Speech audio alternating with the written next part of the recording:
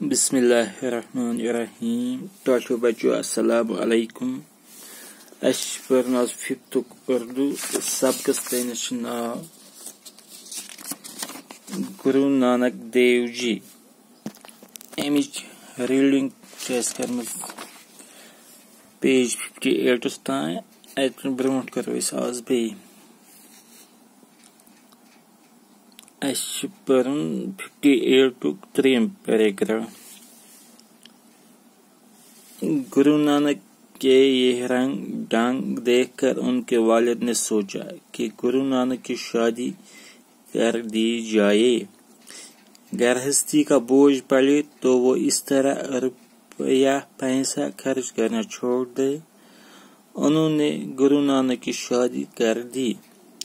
گرو نانک کی شادی ہو گئی، دو بچے بھی ہوئے، لیکن گرو نانک کا دل گرہستی میں نہ لگا۔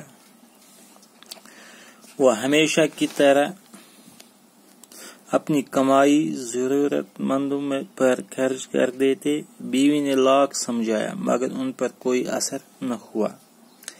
گرو نانک ملک ملک اور شہر شہر پھرے۔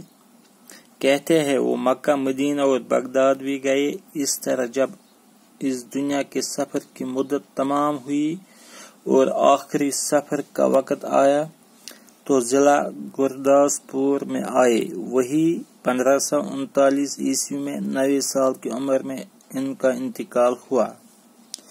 گرو نانک یہ چاہتے تھے کہ لوگ دل سے یہ بات مان لے کہ سب انسان خدا کے سامنے برابر ہے۔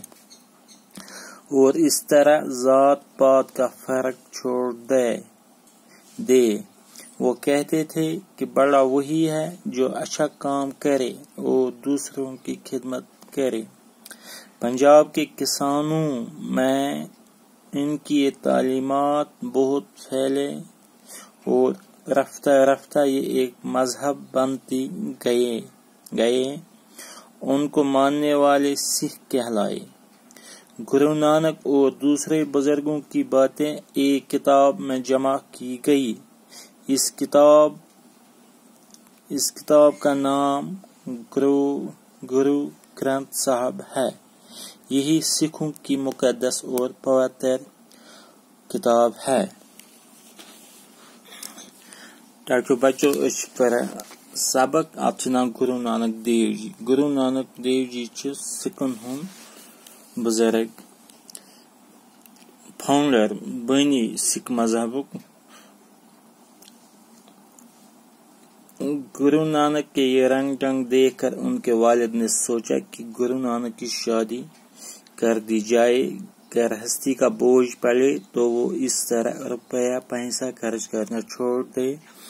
انہوں نے گرو نانک کی شادی کر دی۔ دبا گرو نانک سن مل سوچ، بس کر امس خاندر ام ست لگ امس دل اس پونس وونس اور یور خرچات تو یہ ہسا ترائے سہ خرچاؤن یل امس خاندر گژھِ پن عیال گژھِ یل امس پن عیال آسہِ ترائے ام چیز کرن۔